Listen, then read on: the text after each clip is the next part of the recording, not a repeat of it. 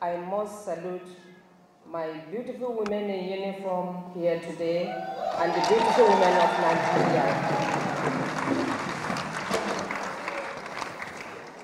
And the great students of Nigeria that are here today. And the beautiful and great women of Nigeria.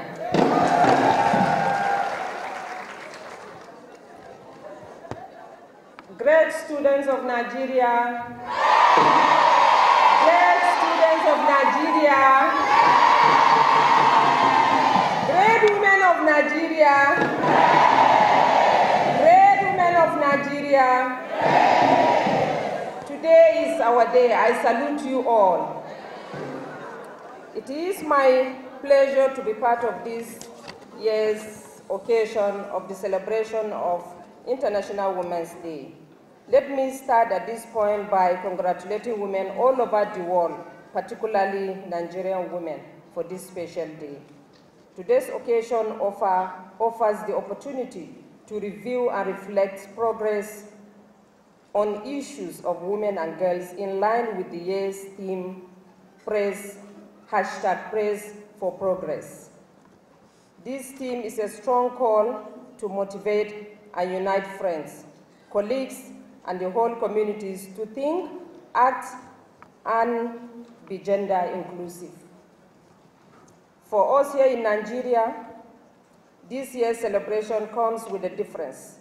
In whichever way, it has to reflect the sad incidences of the abduction of our daughters, especially the recent one in Dapchi, Yobe State.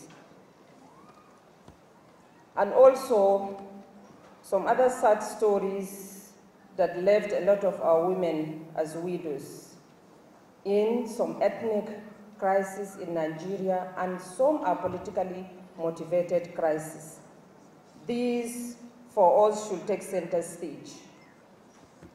This is the reason we decided to develop a local theme locally, Leave Our Daughters Alone, as a strong call for the end of this national disaster and hope for their release. As a mother, I share the sorrow and agony, and agony which the parents are going through up to this moment. I'm aware of the efforts being made for the release of the remaining Chibok girls as well as the, as the recent Dapchi girls adopted. It is my sincere hope that this effort will yield positive results. All these abductions only add to the long list of evil against women and girls in our society, including using them for suicide bombings. This should be concern to every Nigerian, especially mothers.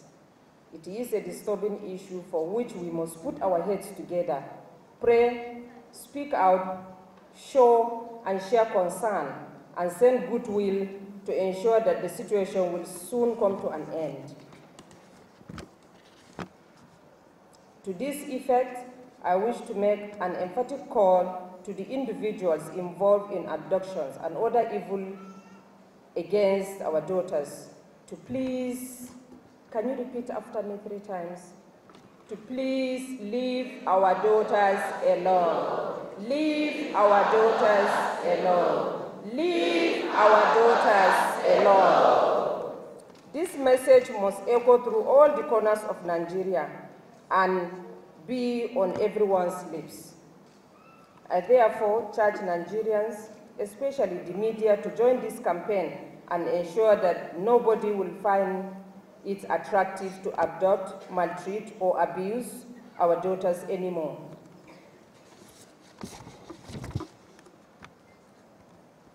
And I cannot conclude my speech without identifying some of the major problems hindering our society from progressing. Because some of our daughters are being used as sex, slaves in the universities, which nobody is talking about it, and it's a major problem, and it's causing a lot of setback in the society.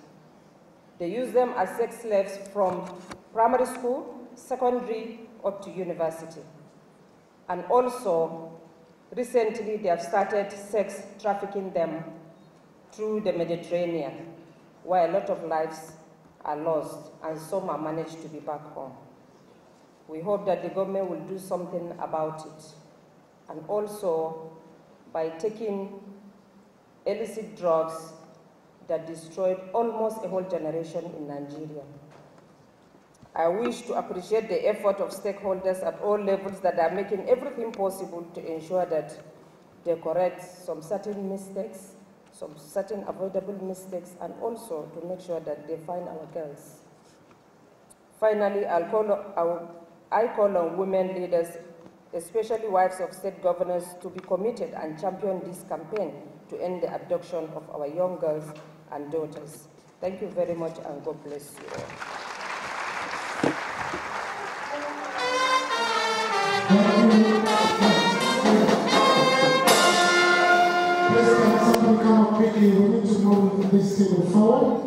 Her Excellency is going to unveil the resolution that was